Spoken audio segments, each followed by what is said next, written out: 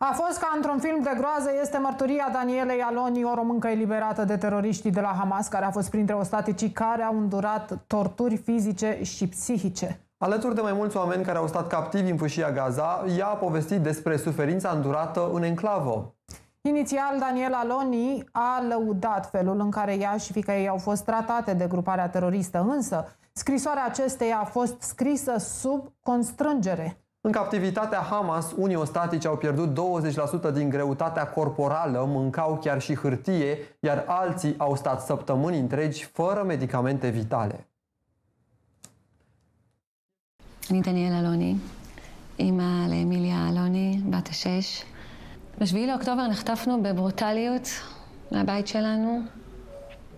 הבנות שלנו ראו דברים שילדים בגיל הזה, או בכל גיל, לא צריכים לראות. סרט אימה.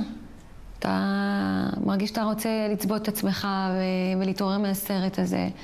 אני מדברת ואני רועדת, סליחה, אני... זה היה מבעית, זה היה... זה היה מפחיד.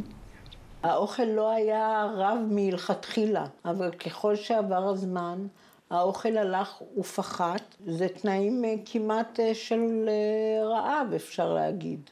וככל שהזמן עובר, הנזק הולך וגדל, והיכולות של הגוף לשרוד את זה הולכות וקטנות.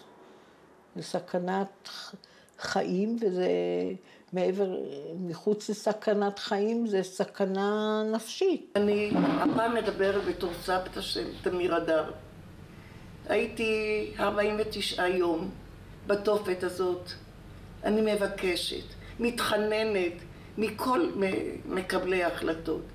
תוציאו את הילדים, תוציאו את כולם.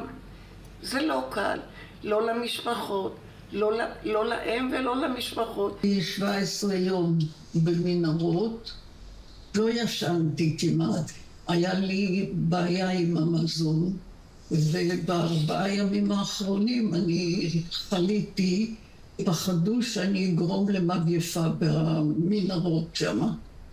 כל יום הוא קריטי, גם בגלל התנאים, והתנאי מחיה שם מאוד קשים, והחמצן בתעלות הולך ואוזל, והפחד מהמלחמה שהם ינקמו בחטופים שלנו